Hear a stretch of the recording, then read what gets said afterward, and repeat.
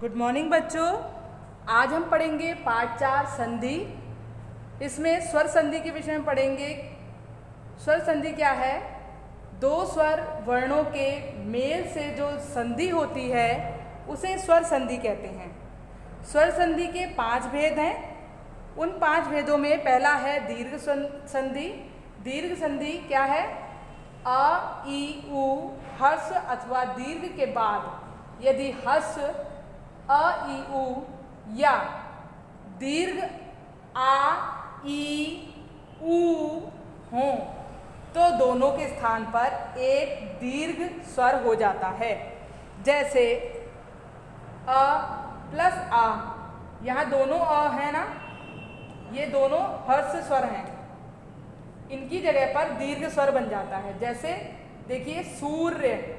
इसमें य, लास्ट में अ आ रहा है। इसके शुरुआत में अ आ रहा है। तो यहाँ पर बड़ा आ बन गया, दीर्घ बन गया, सूर्यास्त। इसी तरह अगर शुरू में अ, फिर बाद में बड़ा आया है मतलब शुरू में हर्ष और बाद में दीर्घ स्वर आया है, देखिए इसके अंत में हर्ष स्वर लगा है, इसके इस प्रथम जो है इसका वो दीर्घ स्वर है। तब भी आपका बड़ा ही बन जाएगा, दीर्घ ही बन जाएगा, ठीक है? मतलब जिसमें अंतता अगर हम संधि करेंगे और दीर्घ स्वर बन के आए, वहाँ पर दीर्घ संधि होगी, ठीक है? इसी तरह से छोटी ई छोटी ई दोनों मिली हैं तो बड़ी ई ही बनेगा। यहाँ छोटी ई, बड़ी ई मिलेगी, तब भी बड़ी ई ही बनेगी, ठीक है? बड़ी छोटी मिलेगी, तब भी बड़ी। मतलब हस स्वर और दीर्घ स्वर कोई भी स्वर मिलेंगे बनेगे बनेगा वो दीर्घ स्वर ही। ठीक है?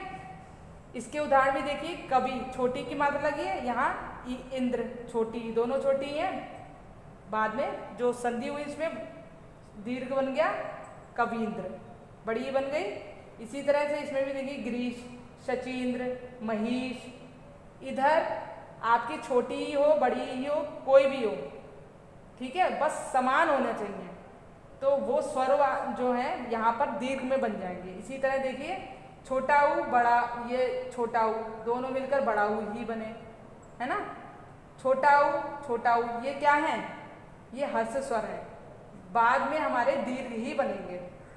जब परिणाम दीर्घ में आएगा, तब हमारा दीर्घ संधि होगी। समझ में आया आपको? धन्यवाद।